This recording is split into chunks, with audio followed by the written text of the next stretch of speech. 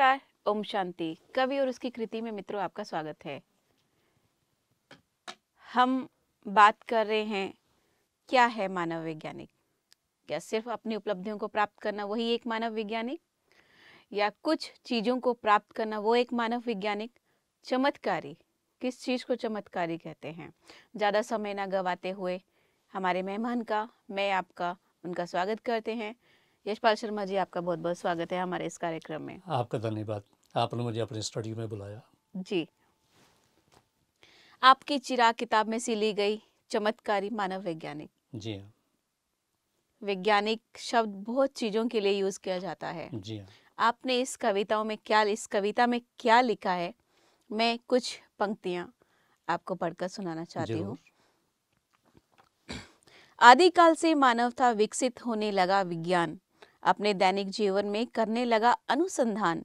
सीमित साधनों का मनुष्य लगा था होने बुद्धि विकास। जीवन में बढ़ते सुख को देख होने लगा उसे उल्लास। प्रकृति थी प्रयोगशाला था विज्ञानी मूड इंसान। यतन अपने में लीन रहे निरंतर रहता लक्ष्य का ध्यान। यहाँ पे आपने मूड की बात की है। हम्म। क्या विज्ञानिक जीवन अपने मूड पर निर्भर रहता है? दोबारा बोलो इस लाइन को जरा। जी। प्रकृति थी प्रयोगशाला था विज्ञानी मूड इंसान। मैं आदि आदि काल का जो मानव था वो मूडी था वो क्या था? शुरुआत अगर हम जीवन की हम मानव जीवन की कहानी देखते हैं जी। तो आदि काल से शुरू होती है उसमें उसमें पत्थर युग था। तो पत्थर युग में बुआ को कैसे जलाते थे? एक पत्थर को पत्थर के ऊपर मार के जो चिंगारी निकलती उसी से से वो अपनी आग- को शुरू करते थे जी जी। और आदि मानव कंदरों में रहता था गुफाओं में रहता था वृक्षों के नीचे रहता था और पहनता था वो वृक्षों की छाल। अपने तन को ऐसे ढकता था। वो आदि मानव था। नंगा धीरे धीरे जैसे जैसे उसकी बुद्धि विकास करती गई। उसने सबसे पहले अपने तन को ढकना शुरू किया हम्म, पत्तों से छाल से। और आग को जलाने को नए को ढंग तरीके शुरू किए। हिंसक पशु आते उन्हें मारते उन्होंने पत्थर के औज़ार बनाने शुरू किए। जी। और फिर वृक्षों की कोमल टहनियों को लेकर के उसके तीर बनाने शुरू किए। जी। फिर जब वो झुंड के झुंड आते जंगलों से तो वो भी तो जंगल में ही थे। तो वो उनको भगाता धीरे धीरे उसका शिकार करता। खाने में क्या था? कंदमूल? जी। भोजन? वो कच्चा ही खाते थे वो। मांस कच्चा खाते थे। कंदमूल जो था वो वो कच्चा ही था। आका तो धीरे धीरे उसे ज्ञान हुआ कि पकाने में थोड़ा स्वाद बढ़ता है और वो जल्दी पचता भी है। उसकी बुद्धि का विकास ही था वो बेचारा। उसकी मूर्ता चेतनता आने में उसे कितना समय लगा। जो आदिकाल का समय है, वो भी सैकड़ों वर्ष का है। तो उस मानव ने धीरे धीरे अन्न की तरफ़ बढ़ा। खेती को छोटी मोटी देखा कि एक चीज़ बीज ज़मीन के नीचे गिरता है और उससे कई उगते हैं। तो उसके दिमाग ने ये विचार किया कि अगर मिट्टी में ये उग सकता है तो मैं भी उगा सकता हूँ। हम्म, उसने पत्थरों के औज़ार बना करके ज़मीन को थोड़ा थोड़ा थोड़ा खोदना शुरू किया। उसमें बीज डालने शुरू किए। धीरे धीरे कृषि का विकास हुआ। जी जी। तो प्रकृति में तो हर चीज़ थी। उसने धीरे धीरे कपास को देखा। कि कपास का पौधा उगता है। उसे देखा जो स्पेची चीज़ क्या है? उसका विकास हुआ। विचार करता तो धीरे धीरे उसने उसने उसका धागा बनाना शुरू किया। फिर उसने कहा रस्सी बनानी शुरू की कि रस्सी से वो जो मरे हुए जो वृक्ष थे जो जानवर थे उनको टांगता और अपने जो शाल थी उसको बांधता। स्त्रियाँ अपने तन को ढकने लगी। विकास हुआ। धीरे धीरे विकास होता गया और मानव कहाँ तक आ गया उसे कपड़े बनाने का याद आ गया फिर हम पुराने यार का भी देखते हैं म्यूज़ियम में जाके। तो देख करके हैरानी होती है कि वो भी मनुष्य थे और हम भी मनुष्य हैं। ये हमारा विकसित रूप है। ये अंतिम रूप है हमारा। फ़र्क। फ़र्क ये कि वो अनपढ़ थे नंग दड़ंग थे असभ्य थे। सभ्यता की नाम नहीं थी। नाम को ऐसा नहीं था। धीरे धीरे इंसान ने कपड़े पहने और जिस दिन उसने कपड़े पहनने शुरू हुए वो एक सभ्य इंसान बना लेकिन अंतर ये भी नज़र आता है ना कि जो पहले के इंसान थे उनमें काफ़ी एक संस्कार था कि हाँ। आगे बढ़ने का था हाँ, भले ही आगे बढ़ रहे थे हाँ। लेकिन वो संस्कार की तरफ़ था। हाँ, लेकिन आजकल के मानव की बात की जाए हाँ। वो संस्कार। देखिए मैं अक्सर देखता हूँ कि जब तक विज्ञान ने इतनी उन्नति नहीं की थी। तो धीरे धीरे उसका जो ज्ञान था बढ़ते हुए आगे आगे हम पुराने विज्ञान देखते हैं हम। ये ज़ीरो है जी किसने दिया? इंडिया ने दिया। जी। है? और आर्यभट्ट वैज्ञानिक था। और कई ऐसे वैज्ञानिक उस समय के हुए होंगे। धीरे धीरे कृषि का विकास हुआ। और वस्त्रों का विकास हुआ। जैसे कृषि बढ़ती गई तो जो जंगली लोग थे उनके कबीले बढ़ने शुरू हो गए। जी सबसे बड़ा विकास तो यहीं पे ही सबसे बड़ा विकास था। जी। कबीले बढ़ने शुरू हुए उनके बच्चे जब हुए आगे चलने हुए तो कबीलों के फिर एक कबीला दूसरे के ऊपर हावी होने की कोशिश करता उन पर हमला करता। हम्म। कोई इंसान की जो तृष्णा है ये बढ़ती है तृप्त नहीं होती तृष्णा मतलब इच्छाएँ। इच्छाएँ। एक लालसा होती है कि ये ज़मीन मेरे पास हो हम्म। ये गाँव मेरे पास हो। तो उस समय उस समय कोई जो जो बहादुर होता था जो थोड़ा नीतिवान होता था वो उनका लीडर बन बैठता था। हम्म, कबीले का मुखिया होता था। जी जी जी। या जैसे हम पिछले एपिसोड में बात कर रहे थे नारी की बात कर रहे या किशोरावस्था की बात करते हैं तो लड़कों में आपस में जब आकर्षण जब उनके जौन संबंध बनते हो गए तो जब विचारशील हुआ उसने कहा कि ये बात गलत है। एक मर्यादा में होना चाहिए। जी। मैं एक जैन धर्म की किताब पढ़ रहा था ब्रह्मचर्य दर्शन। तो उन्होंने लिखा कि हेमचंद्र नाम का एक विद्वान हुआ है। विवाह की जो पद्धति है उसके उसके समय पे शुरू हुई। उसने कहा ये नहीं चलेगा। ये तो जंगली है कि जिसकी इच्छा होती है, वो एक औरत को पकड़ता है और निकल जाता है वो। ये नहीं होगा।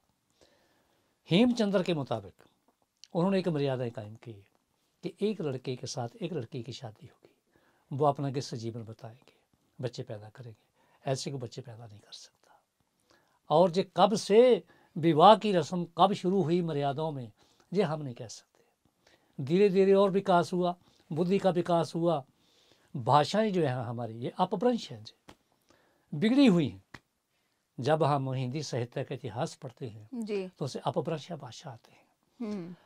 अपभ्रंश भाषाओं का धीरे धीरे किसी बात को लिखना पढ़ना और भाषा जो है जी एक चलता हुआ पानी है कि जो दरिया है। पहले कैसे बोली जाती थी? धीरे धीरे धीरे उनमें एक प्योरीफाई आने लगा। आदमी के बोलने का ढंग लिखने का ढंग वो पहले किससे लिखते थे हम? मैं अपने बचपन की बात करता हूँ कि हम एक कलम से जो जो पट्टी थी कलम से लिखते थे और उसमें जो खड़िया मिट्टी थी उसे उसे साफ़ करते उससे एक साफ़ एक, करते एक। मतलब अच्छी लिखाई बनती लिखाई बनती थी। उसके बाद होल्डर आ गया। जी करने पे तो हमें हमारे अध्यापक कहते बेटा जी करने पे लाना इंग्लिश की लिखाई बनानी है। हम जी करने के साथ इंग्लिश लिखते हम्म। तो उस समय बच्चों का जो हैंड राइटिंग था वो भी अच्छा बनता था। पट्टी के ऊपर। कूरने डालते थे। क कैसे लिखना है? ख कैसे लिखना है? एक दो तीन चार। कूरने के ऊपर सबसे पहला बच्चा उसके ऊपर लिखता था। उसके ऊपर लिखता था। हम्म, फिर धीरे धीरे उसके बाद खुद लिखता था। उसे याद होता जाता था। ये धीरे धीरे जो अक्षर ज्ञान था अंकों का ज्ञान था ये धीरे धीरे मनुष्य उधर चला।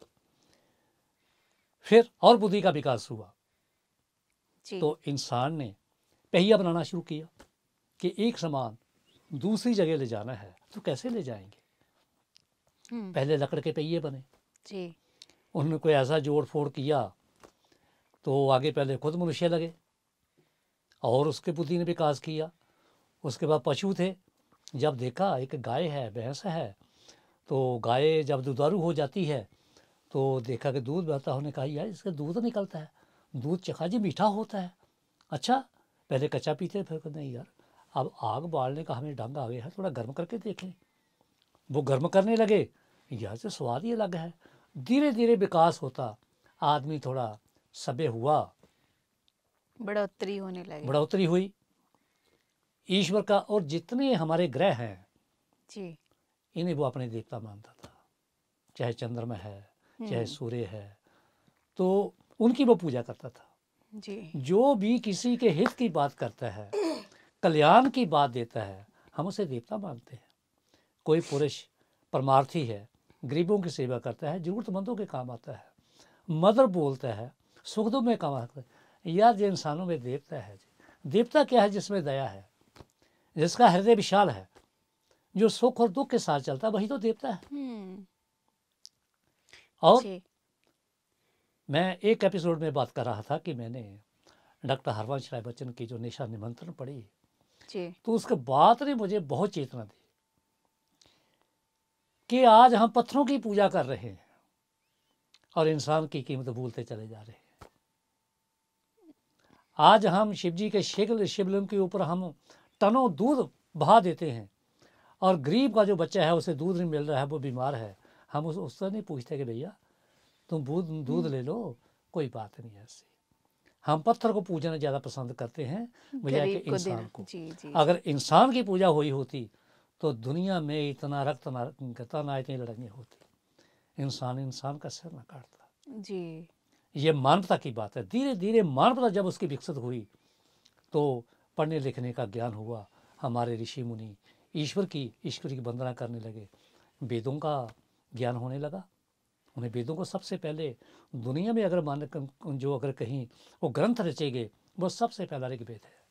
आपने यहाँ पे ग्रहों की बात की आप, आपने यहाँ पे कहा कि नाभि धरती और समुंदर जाने उनके भेद अनेक अजनबी मानव जाति के खोज निकले दूर के देश। चाँद धरा की अवनी सूर्य की कैसे परिक्रमा करते हैं समीप दूर हैं कितने ग्रह निशी दिन कैसे बनते हैं कई वैज्ञानिक बंधुओं दिया समाज मृत्यु इनाम। क्या मृत्यु हाँ, का इनाम दिया जाता है। बिल्कुल। उस समय एक रूढ़िवादिता थी। कुछ लोगों का दबदबा था। पहले जिसने ये कहा होगा कि जो धरती है वो सूर्य के गिर्द घूमती है तो को मारने को तैयार नहीं था। उन्होंने कहा इसको सजा दे दो इसको मार दो इसको। ये गलत बात करता है। इस्लाम में कोई आदमी ये नहीं कह सकता कि मैं खुदा हूँ। जी। जो ईश निंदा करता है वहाँ पे अल्लाह की निंदा करता है उसको फांसी का हुक्म दे दिया जाता है। उसको फांसी दे दो। पाकिस्तान में ऐसा हुआ। और वो एक स्त्री कितने दी कितनों को फांसी होगी वो तो हम कह नहीं सकते। हम्म। किंतु बुल्ले शाह की बात मुझे याद आ गई कि बुल्ले शाह को जब आत्मज्ञान हुआ तो उसने कहा मैं खुदा हूँ। जैसे हमारे हिंदुओं के एक शास्त्रों में आता है सोहम। एक सोहम शब्द आता है जी। कि जो तू है वही मैं हूँ। कि जो परम सत्ता है जो परम पिता है उसी की जो संतान है वो आत्मा है। वो परम आत्मा है ये आत्मा है। हम्म। तो बोले व्यक्ति एक दूसरे के बीच में प्रभु को जानने लगता है प्रभु को मानने लगता है हाँ। ईश्वर को टटोलने लगता है हाँ। तो क्या आप ये कहना चाहेंगे कि प्रभु के एक व्यक्ति के अंदर है? आपने अभी कहा कि एक दूसरे को जानने से प्रभु मिलते हैं तो क्या व्यक्ति के अंदर मिलेंगे? बिल्कुल मिलेंगे। कैसे? नर सेवा ही तो नारायण सेवा है। नारायण किसने देखा है? जब हम ये मानते हैं कि ईश्वर एक है। जी। जितनी आत्माएँ हैं वो सारी उसकी संतान है उसके बच्चे हैं। तो फिर द्वेष किससे? ईर्ष्या किससे? तलवार किसके लिए? कबीर साहब ने कहा एक राम सबहन में जाना कहे कबीर मन माना। जी। जब सब में ईश्वर का वो राम है राम शब्द में ब्रह्म कब बोलते हैं? राम का जो शब्द करता है वो ब्रह्म है। जब सब उसी का अंश है उसी की आत्माएँ हैं कब पैदा हुई ये सनातन प्रश्न है जिसका किसी के पास उत्तर नहीं कोई है। उत्तर नहीं है। तो किसने पूछा सृष्टि कब पैदा हुई? लेकिन आप कहते हैं कि राम एक देवता स्वरूप है आप कहते हैं कि कृष्ण एक प्रिंस है और कभी आप कहते हैं कि शिव को हम परमात्मा मानते हैं। तो इसमें क्या अंतर माना जाएगा? हमें कैसे पता लगेगा कि वो प्रभु है वो देवता है? देखिए राम की जब हम बात करते हैं जी। तो राम हमारे गृहस्थी का एक आदर्श है। और उसमें भी एक षड्यंत्र हुआ कि जो राम जो उसकी ककई की जो मंत्रा उसकी नौकरानी थी जो पेके से आई थी जी। तो उसने उसके कान भरे कि जो तुम्हारी जो बड़ी जो रानी है उसका बेटा युवराज बनने जा रहा है उसका उसका बेटा राजा बनना जा रहा है। क्या तू उससे कम है? तो कई ने ऐसा कहते हैं कि कई ने जब वो देवताओं के साथ युद्ध कर रहा था दशरथ तो उस समय उसका पहिया निकलने वाला था। अगर पहिया निकलता तो दशरथ गिरता और युद्ध हारता। तो कई ने वो हाथ जो था वो पहिए के ऊपर रखा। वो निकलने नहीं दिया। दशरथ के जान बचे और युद्ध जीता गया। जीता गया। तो उस समय उसने कहा कि कई जब समय आएगा तू मुझे दो बार को मांग ले। उसने कहा जब समय आएगा स्वामी मैं मांग लूँगी। तो मंत्रा ने उसका कान भरे। उसका बेटा राजा बन रहा है। क्या तू दासी बन जाएगी? तुम्हारे बेटे जो हैं भरत शत्रुघ्न वो दास बन जाएँगे उनके? तू अपने बेटे के लिए जो वो जो दो बार हैं अभी मांगो। जो जो जो ईश्वर है वो एक खेल खेलता है। और एक बार याद रखिएगा जो एक बार वो खेल खेलता है वो दूसरी बार नहीं खेलता। इसीलिए वो बेअंत और अनंत कहते हैं उसको। वो खेल खेलना था वो वाला। और राम जंगलों में जाते हैं। जी। और किसका रक्षण करते हैं? मैंने पहले भी आपसे ये क्वेश्चन हाँ। ये प्रश्न किया था हाँ। कि जब राम वनवास में जाते हैं हाँ। तो उस समय उनको क्यों भेजा जाता है आज जब आप प्रभु के साथ उनकी तुलना कर रहे हैं। जबकि उनसे तो कोई गलती नहीं हुई कोई ऐसी बात नहीं हुई तो फिर उनको क्यों क्यों उनको इस तरह से अपने लक्ष्मण के साथ सीता के साथ एक वन चौदह साल वनवास के लिए भेजा गया? एक बात याद रखने वाली है कि जब भी गीता में हम पढ़ते हैं कि जब भी दुनिया में पापाचार आता है तो मैं युग युग में प्रकट होता हूँ। जी। और रावण को मरने वाली चीज़ नहीं थी। बुद्धिमान बोलते थे। बुद्धिमान थे। दस रावण उसे बोलते हैं कि दस आदमी और जो विद्वानों जितना उसका दिमाग काम करता था। जी। वो चार वेद और शेष शास्त्रों का उसे वो ज्ञाता था। किंतु मृत्यु तो सबकी संभव है। जो जन्म है वो मरेगा ज़रूर। ये प्रकृति का नियम है। जी। उसको मारने के लिए जो उसने इना अनाचार किया था कि एक उसके पास मंदोदरी जो ईश्वर की भजन भजन करने वाली नारी थी और पति पतिव्रता थी वो पाँच सती सतीव्रता नारियों में मंदोदरी एक मानी जाती है। कहते हैं कि जब भी रात्रि को हम सोने से पहले उन नारियों का हम ध्यान करते हैं उनका नाम लेकर के सोते हैं तो आदमी को कभी बुरा स्वप्न नहीं आता ना कभी बुरे विचार उसे सपने में आते हैं। हम्म। तो मंदोदरी ने उसको समझाया कि स्वामी सीता आप ले आए हो गलती से उसे वापस भेज दो। हनुमान गया सुग्रीव गया वो नहीं माना। क्यों? प्रकृति ने एक निज़म बनाया है जो अपनी मर्यादाओं को तोड़ता है। उसका समझे कि अंत आने वाला है। सीता ने कौन सी मर्यादाएँ तोड़ी थी? सीता फिर भी उसको वनवास के लिए भेजा गया दोबारा? सीता ने मर्यादा अपनी नहीं तोड़ी। तो मैं मानता हूँ अगर हमें ये इस सम, हाँ, आपकी बात यहाँ पे बीच में इसलिए कर हर बार हाँ। महिलाओं को ही आ, मतलब एक स्त्री को ही हम्म, क्यों एक अग्नि तपस्या देनी पड़ती है? क्या हर बार स्त्री ही गलती करती है? क्या हर बार स्त्री को ही गलती के दोषी मानी जाता है? पुरुष क्यों नहीं? जबकि रामचंद्र जी की हाँ, वो एक गलती थी हाँ। कि उन्होंने उस सीता को अ, उसको वनवास के लिए भेजा। क्या आखिर ऐसी बात है? क्यों हर समय स्त्री को ही अग्नि तपस्या देनी पड़ती है? मैं आपकी बात से सहमत हूँ। क्योंकि हमारा जो समाज रहा है वो पुरुष प्रधान रहा है। और पुरुष प्रधान जो समाज कहीं भी होगा वो मनमानी ज़रूर करेगा। पुरुष ने हमेशा मनमानी की है। मैं आपकी बात से सहमत हूँ। कि सीता को घर से निकालने का उन्हें कोई हक नहीं था। प्रजा क्या कहती है अपनी पत्नी को छोड़ने का? मुझे, मैं एक इंटरव्यू में गया तो मुझे यही सवाल किया गया था। कि आप रामायण को मानते हैं? ना हाँ जी, मैंने पढ़ी है। तो सवाल किया गया कि क्या रावण ने जब उसने, राम ने सीता को निकाला, एक धोबी के कहने के मुताबिक तो क्या ये सही था? तो मैंने उसे जवाब दिया था। कि अगर हम सामाजिक दृष्टि से देखें तो राम का जो फैसला था ये बहुत टोटली गलत है क्योंकि जब भी पुरुष अग्नि के इर्द गिर्द उसके रक्षा का उसके भरण पोषण का सात बचनों का। सात बचनों का लेता है तो वो कहता तुम्हारी रक्षा मैं करूँगा। मैं कह ठीक है वो वहाँ से ले आए उसे। वो बात एक अलग है। किंतु एक धोबी के कहने पर तो उसे नहीं छोड़ना चाहिए था उसको। समाज की दृष्टि से वो गलत है। किंतु अगर राजनीतिक तौर पे देखें तो ऐसे कहा जाता है कि जैसे महाराजा शोक वो अपना वेश बदल करके, वो प्रजा की, जहाँ प्रजा की टोली बैठी होती थी, उनकी बातें सुनता था कि मेरे राज के बारे में लोग क्या कहते हैं? मेरे बारे में क्या क्या कहते हैं?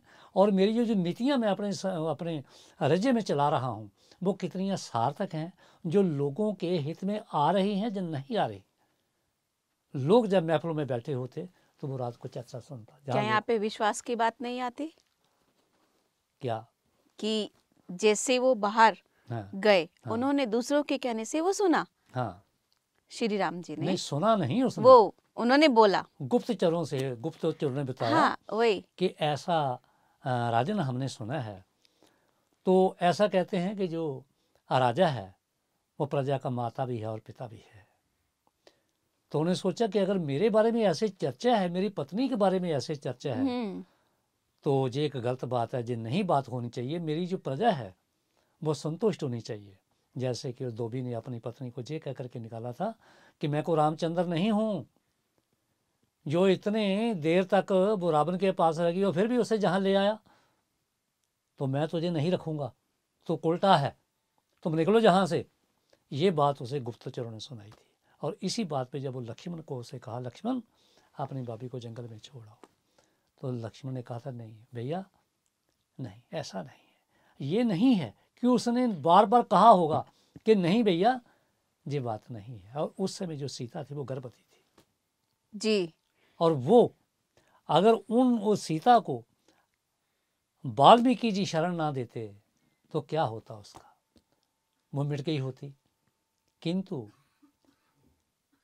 ये प्रकृति ने, ईश्वर ने एक इतिहास बनाने के लिए शायद ये रचना की हो, शायद ऐसा किया हो कि जब वाल्मीकि के पास उनके दोनों बच्चे जाते हैं, वो जन्मती है, दोनों को शिक्षा देते हैं और उस समय जो गुरु थे, गुरुकुलों में वो उन्हें शब्द ज्ञान के साथ साथ शस्त्र की विद्या देते थे, अध्यात्म विद्या देते थे। बेटा, ईश्वर को कैसे प्राप्त करना है? योग सिखाते थे कि अपने आप को सबल कैसे बनाना है? सबल इसलिए नहीं बनाना है कि हमने किसी की स्त्री का अपहरण करना है। इसलिए सबल बनाना है कि ताकि हम आने वाला जो शत्रु है उसका हम उस उसे हम रोक सकें अपनी सीमाओं की रक्षा कर सकें अपनी रक्षा कर सकें। और आखिर लाभ और कुछ से। रामचंद्र के जितने बड़े बड़े योद्धा थे सारे हारे थे। क्योंकि वो एक शूरवीर के वीरे से उत्पन्न हुए थे। हम्म। पहले शादियाँ कैसे होती थी? चार हिस्सों में जीवन को बांटा जाता था। जी। कि ब्रह्मचर्य और गृहस्थ बाणप्रस्थ और संन्यास। जी। 25 साल तक उन्होंने रखा था कि 25 साल तक एक बेटा या एक बेटी वो शिक्षा लेगी। और अपना जीवन निर्वाह करने के लिए वो को काम सीखेगा। हम्म। उस समय गुरुकुलों में काम भी सिखाया जाता कि जो जिसमें चतुर होता था उसे उसी काम में लगाया जाता था। जी। और गृहस्थ का समय माना कि 25 साल का बेटा होता है तो उसकी शादी की जाती है। वो 50 साल तक अपनी गृहस्थ भोगेगा। और बच्चों की जो गृहस्थ की जिम्मेवारी उठा के सा पचास साल के बाद वो पचहत्तर साल तक पच्चीस साल तक वो ईश्वर की साधना करेगा। जो उसे अनुभव प्राप्त होंगे वो पचहत्तर से आगे सौ साल तक वो अपने ज्ञान को बांटेगा। ताकि उसके लोक हित की बात करे ज्ञान की बात करे एक प्रेम की बात करे स्नेह की बात करे सौहार्द की बात करे ताकि हमारा जो समाज है उसे को दिशा दे सके। वो बातें पीछे छूट गई। लेकिन यहाँ पे आपने बोला कि दिया समाज मृत्यु इनाम। यहाँ का क्या यहाँ इसके बारे में क्या कहना चाहेंगे? किसका मृत्यु इनाम मतलब क्या? जिन लोगों ने कभी ये कहा होगा कि जो पृथ्वी है ये सूर्य के इर्द गिर्द घूमती है जी। तो वो मानने को तो भैया पृथ्वी पे तो हम खड़े हैं। ये कैसे ही कह देता है मूर्ख बा बार बार यही बात कहता है इसको इसको मृत्यु दंड दे दो। और कई लोगों को मिला है। मृत्यु इनाम। मिला मिला है मृत्यु ना मिला है। जी। आज पाकिस्तान में देखते हैं कि जब वो कहता है कि भाई जो अल्लाह के बारे में बात करते हैं खुदा के बारे में अगर कोई बात कह कहा जाता है कोई ऐसी भी ऐसी बात कहे तो उसको उसको मृत्यु दंड दिया जाता है। ये तो वर्तमान समय की बात है जबकि आदमी इतना सभ्य हो चुका है। जब वो इतना ग्रहों तक जा पहुँचे है जब से हर अ, हर क्षेत्र में उसने विकास किया है। शिक्षा का है हम्म। कृषि का है विज्ञान का है अ, और औषधि का है। इतने इतने बड़े इतना इतना आदम आदमी कहाँ से कहाँ चला गया? और और फिर भी वो कि जो अल्लाह के बारे में बात सुनने के लिए तैयार नहीं है वो। क्यों? ज्ञान नहीं है। एक कट्टरपन है। जहाँ कट्टरपन है चाहे घर में हो चाहे समाज में हो में चाहे हो। देश में हो। जी जी जी। वहाँ पे लड़ाई झगड़ा होता ही रहेगा कर्फ्यू लगते रहेंगे दफ़ा एक सौ चौतालीस लगती रहेगी। मुझे बोले शाह की बात याद आती है। जी। जब उन्हें ज्ञान हुआ तो उन्हें कहा मैं खुदा हूँ। तो उन्हें कहा कि ये शरा जो हमारी शरा है शरीयत है जो उसके खिलाफ बोलता है उसने उसे बांधा और कुएँ में डुबकी लगाई। पूछते बोले तू कौन है भाई जी मैं बंदा हूँ। बाहर निकालते खोलते कहो मैं खुदा हूँ। तीन चार बार ऐसे किया बोला वही बात किया जा रहा है। जब बाँध करके नीचे कुएँ में डालते हैं तो कहता है मैं बोला हूँ बाहर खोलते हैं। तो कहते हैं मैं खुदा हूँ। एक सियान ने पूछा कि यार इसे पूछो कि इसका अर्थ क्या है? कहने लगा जब आदमी मजहबों में जातियों में भाषाओं में बंध जाता है तो वो बंदा हो जाता है। जब इन चीज़ों से परे हो जाता है वो खुदा हो जाता है। कितनी अच्छी बात है। मतलब ये मृत्यु इनाम आपने उसमें डाला। बिल्कुल आज मिल रहा है। वो उस समय की तो बात छोड़ो। आज जब वो हुक्मरान है वो लोकतंत्र है वहाँ पे। और फिर भी वो वो उसे उसे मृत्यु का नाम दे। वो लेडी बड़ी मुश्किल बची है जिसके जिसे उसे पता नहीं वो किसी ने गलती कह दिया कि इसे ईश निंदा की है। क्या सबूत है उसने कहा भी है कि नहीं है। को लिख के थोड़ा उसने किसी को दिया है। तो ये तो वहाँ के आज के वहाँ पे हालात है तो उस समय की बात क्यों नहीं हो सकती? खुले से खुला। बिल्कुल। बंधन से बंधा खोले से खुदा। जो सरल हृदय है। जो सबके लिए एक जैसी दृष्टि रखता है। हम्म। उसकी सृष्टि ही कुछ और होती है। उसके लिए सारा संसार ही एक वसुदैव कुटुंबमुख होता है कि ईश्वर का एक ही परिवार है। खुदा का एक ही परिवार है। अल्लाह का एक ही एक ही परिवार है। गॉड का एक एक ही परिवार है। फिर झगड़ा किससे? नफरत किससे? द्वेष किससे? यशपाल शर्मा जी आपकी चमत्कारी मानिक मानव वैज्ञानिक। अभी आधी अधूरी है। अभी आपने इसके बारे में थोड़ा सा ही संदेश दिया है। अगली कड़ी में आपके साथ फिर से मुलाकात होगी। तब तक के लिए नमस्कार। धन्यवाद। मित्रों चिराग किताब में से ली गई चमत्कारी मानव वैज्ञानिक अभी आधी अधूरी है। अगली कड़ी में आपके समक्ष इसी कविता को लेके हाजिर होंगे। तब तक के लिए दीजिए इजाज़त। नमस्कार ओम शांति। नमस्कार ओम शांति।